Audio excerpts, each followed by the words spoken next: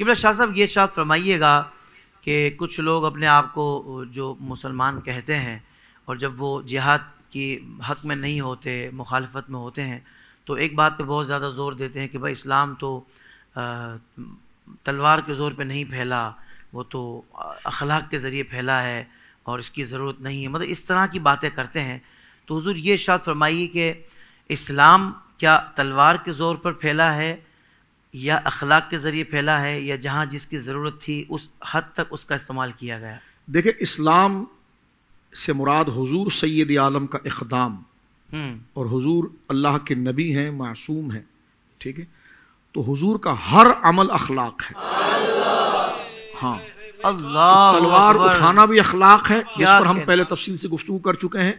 और तलवार ना उठाना भी हुजूर सैद आलम के अखलाक में से है। क्या कहने इसलिए कि देखें जिसम का वो हिस्सा जो नासूर बन जाए तो हम्म। उसको पाल कर रखकर पूरे बदन को जाया कर देना हाँ। ये दानिशमंदी है। या उस नासूर हिस्से को काट कर फेंक कर अपनी ज़िंदगी बचा लेना ये दानिशमंदी है। ये दानिशमंदी। ये दानिशमंदी। तो लिहाजा जो चीज़ मुआशरे की मौत का बाइस बन जाए हम्म। जो अखलाक की मौत का बाइस बन जाए तो सारे मुआशरे को मौत के मुँह में धकेलने की बजाय उस शय को जो उस माशरे से हटा दिया जाए हम्म। और माशरे और इंसानियत की जीत और अखलाक को बचा लिया जाए तो यही शरीयत मुताहरा ने जिहाद के तौर पर ताबीर किया। जैसे इकदाम की बात कुरान ने भी कहा है कि हद से तजावज़ मत करना। हम्म। हद से तजावज़ से मुराद यह है कि जो जिस हद तक है उस हक तक उस बात को रखा जाए। हम्म। ये वो जज्बाती लोग हैं यानी पहले तो मुताला या नहीं है या समझना नहीं चाहते।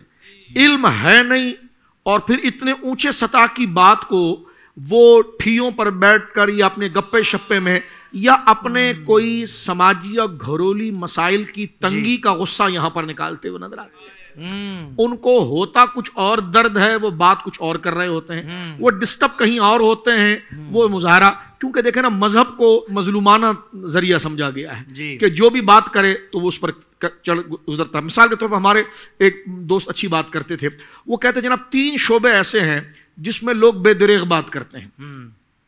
एक तो वाकई में जो सियासत शरी है जिससे इंसान की फलाह होती है आप बात कीजिए एक बंदा जिसको जूता पहनना नहीं आगा उसमें मशवरा देना शुरू कर देगा। हम्म। इसी तरह मेडिकल के शोबे में आ जाए। खुदा ना करे किसी को कोई बीमारी है वो सर दर्द की गोली या कोई गोली खा रहा है तो एक शख्स जिसका अपना कोई हाल नहीं है वो कहेगा आप ये क्यों खा रहे हैं? आप ये खा रहे हैं? अल्लाह और तीसरी चीज़ है मज़हब। अब मज़हब यानी दीन जिसको पढ़ना, जिसको समझना एक उम्र दरकार है। बाकायदा ये उन, जिनका शोबा है, ये उन्हीं के शाह हैं कि वो उस पर गुफ्तु करें, तलकीन करें, नसीहत करें, किताब लिखें, कोई कमेंट्स पास करें, किसी को सही और गलत कहें। तो किसी चीज़ को अगर वो सही कह रहे हैं बज़ाहिर वो हमें समझ में नहीं आ रही लेकिन उसके पीछे पेनहा पेनहा ऐसे पहलू और दलाइल हैं जिसकी वजह से उसको दुरुस्त कहा जा रहा है। एक चीज़ हमें दुरुस्त नज़र आ रही है लेकिन उसको मना किया जा रहा है उसके पीछे कई खराबियाँ हैं। तो अब आप देखिए कि उसमें कूद पड़ना अपनी राय देना तो फिर इदा खातमुल जाहिलूना कालू सलामा। कि जब जाहिल आपके मत्थे लगे तो कुरान ये कहता है अपना टाइम ज़ाया ना करो उनको सलाम कर कर आगे बढ़ जाओ। लेकिन हम अब जो दूसरे शोबे में बात कर रहे हैं वो लोग जो पढ़े लिखे हैं समझना चाहते हैं तो उनको बताने के लिए हमने ये बात की गजवात की बहस गुजर चुकी है उसको हम रिपीट नहीं करते। एक बात अगर आप देखें बिलखसूस वो लोग जो इस्लामी जिहाद पर जो जनाब सैद आलम सल्लल्लाहु अलैहि वसल्लम और खलफा राशिदीन के दौर मुबारक के अंदर रिदवानजमाइन हुआ जो तरीक अला मिनहाज नबुआ था वाँ वाँ उस पर इल्ज़ाम लगाने की कोशिश करते हैं और उसके मद्दे मुकाबिल कहते हैं जी मुआशरा जो था वो हज़रत मूसा सलाम का था मुआशरा जो था वो हज़रत ईसा सलाम का था। मैंने कहा बिल्कुल नबियों का माशरा हम मुसलमान हैं अल्हम्दुलिल्लाह हम हज़रत मूसा सलाम की हर तलकीन और नसीहत पर ईमान लाते हैं। ठीक है? हज़रत ईसा नबी सलाम पर हम ईमान लाते हैं। ठीक है? हम्म। लेकिन आप ये बताइए जरा दिल पर हाथ रख के आपने हज़रत मूसा को पढ़ा भी है? हम्म। आप जरा जो इस्लाम पर एतराज़ कर रहे हैं आपने हज़रत ईसा को पढ़ा भी है? मैं एक बात अर्ज़ करना चाह रहा हूँ देखिए इस वक्त जो मौजूदा मार्केट के अंदर किताब मिलती है ये तौरात मेरे हाथ में ठीक है। है? जिसको तौरात लिखा हुआ है ठीक है ना? इसके ऊपर वाज तौर पर लिखा हुआ है तौरेत पुराना अहदनामा की पहली पाँच कुतुब का मजमुआ। ठीक है। ठीक है जी? जिसका तर्जुमा अबरानी जबान से उर्दू जबान में किया गया। अंग्रेज़ी में भी ट्रांसलेट किया गया। कहाँ से छपी जी? Pakistan Bible Society Anarkali Lahore. ठीक है? अब आप देखिए कि इसमें ये पाँच जो ये ज़िक्र किया है कि पाँच कुतुब का पैदाइश खरूज अखबार गिनती इस्तेसना। सही। अब आप देखें हज़रत मूसा सलाम के दौर में अकाम जिहाद क्या था। हम्म। मैं सबसे पहले आपके सामने इस्तेसना से पढ़ता हूँ जरा गौर कीजिए। और फिर बताइए कि जो हज़रत मूसा सलाम के दौर को हजत मानकर जनाब सैयद आलम सल्लल्लाहु अलैहि वसल्लम के दौर मुबारक पर तनकीस करते हैं मैं उन दोस्तों से कहूँगा ज़रा आप हिम्मत फरमाकर और दयानत के साथ हज़रत मूसा सलाम की तालीमत जो आपके नज़दीक हजत है जो मौजूदा किताब के अंदर है ज़रा आप देखिए ये इस्तेसना है ठीक है? इस्तेसना और जो मैंने हवाला दे दिया है उसका सफ़ा नंबर चार सौ तिरासी है। मौजूदा तौरात। ये इस्तेसना है और इस्तेसना का ये बाब नंबर बीस है। सही। ठीक है जी? बाब नंबर बीस है और इसकी आयत नंबर दस है।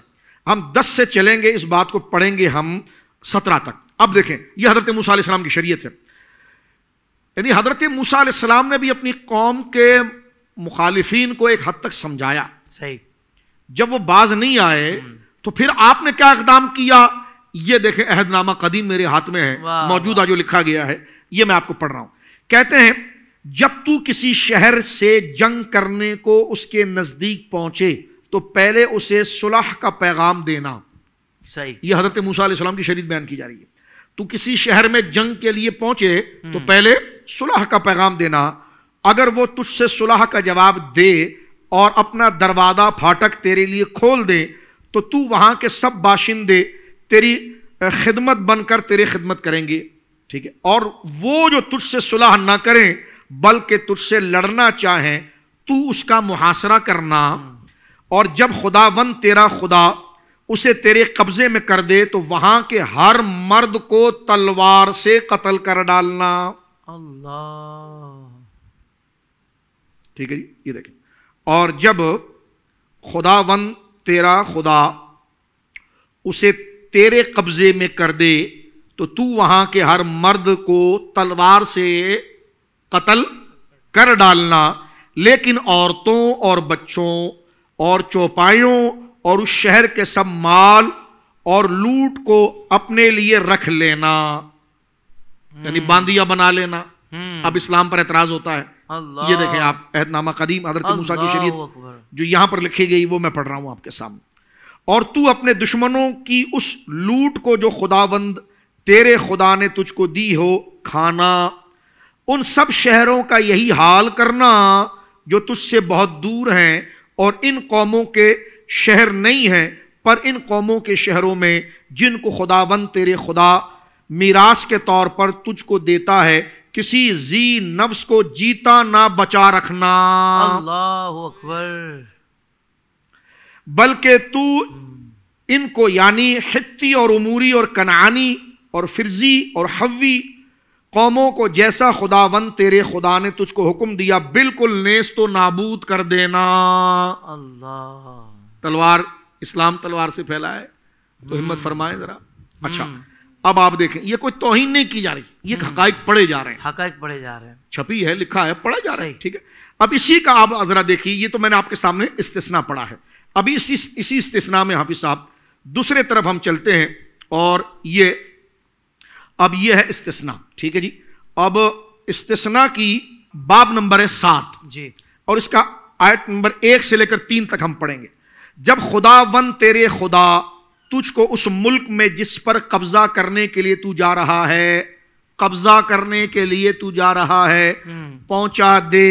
और तेरे आगे से उन बहुत सी कौमों को यानी हित्तियों और जरसाइयों को वगैरह वगैरह उन कौमों का नाम लिखा गया सातों कौमें तुझसे बड़ी बड़ी ज़ोर आवर निकले। और जब खुदावंद तेरा खुदा उनको तेरे आगे शिकस्त दिलाए और तू उनको मार ले तो उनको बिल्कुल नाबूद कर डालना। तू उनसे कोई अहद ना बांधना और ना उन पर रहम करना। अल्लाह अकबर। ठीक है जी? ये मैंने आपके सामने हज़रत मूसा सलाम का हवाला पेश किया जो तौरात में है। हुजूर सैयद आलम ने तेरह साल हम्म। सब्र किया और हज़रत ईसा सलाम की हयात पड़ी है सिर्फ़ पौने तीन साल। हम्म। जब उनके पैगाम हक और सच्ची और मुबारक पैगाम जो हज़रत ईसा सलाम कौम को दे रहे थे हम्म।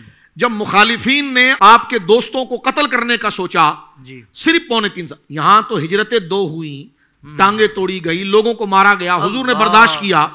तो जो नबी आज़म तेरह साल बर्दाश्त करें उनकी सीरत मुबारक पर आप हमला कर दें ये इंजीर मुकदस है पौने तीन साल हज़रत ईसा सलाम ने गुजारे।